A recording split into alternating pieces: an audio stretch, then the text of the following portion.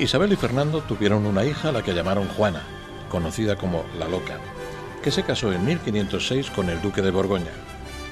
Felipe el Hermoso trae a Castilla la Orden de Caballería del Toisón de Oro y el aspa de Borgoña o Cruz de San Andrés, símbolo de la familia de su madre María de Borgoña. La cruz consistía en dos troncos en aspa, forma en la que crucificaron al santo. Por estar teñidos con su sangre, tenían el color rojo.